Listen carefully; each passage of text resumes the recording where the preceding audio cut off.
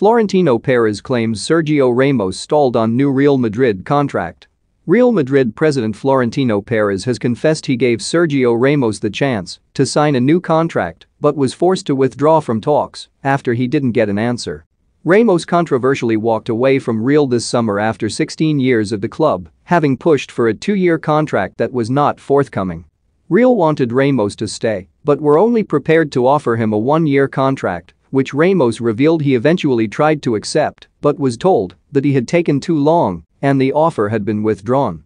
Perez was pressed on the matter during a recent interview with Onda Cero's El Transistor, and although he did his best to avoid talking about it, he did admit that he did try and keep Ramos but had no choice but to move on. I had a tough time at Sergio Ramos's farewell event.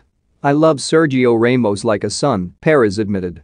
I wasn't with him at the farewell press conference because I've never been to a press conference with any player. I have an adoration for Sergio Ramos and I'm not going to talk about the bickering. He is a legend at Real Madrid and that's what we Real Madrid fans are left with. We offered him a contract, we gave him a deadline, and he didn't accept it. He was thinking about other things and life goes on. He will do very well for sure, and this is his home. I would be delighted if Sergio Ramos went to a club that offered him what we have not been able to offer him.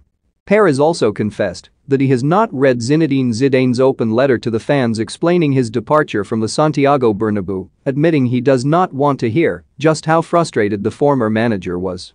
I knew Zidane leaving was a possibility because it had been a tough year, he said. I spent a whole afternoon trying to convince him to stay, but when Zidane wants to go, he has already left. They have told me that the letter is not good, I do not want to read it. The one who wrote that letter has told me that it was not Zidane. I have known him since 2001 and I wish him the best. I am sure he will get to be France's coach.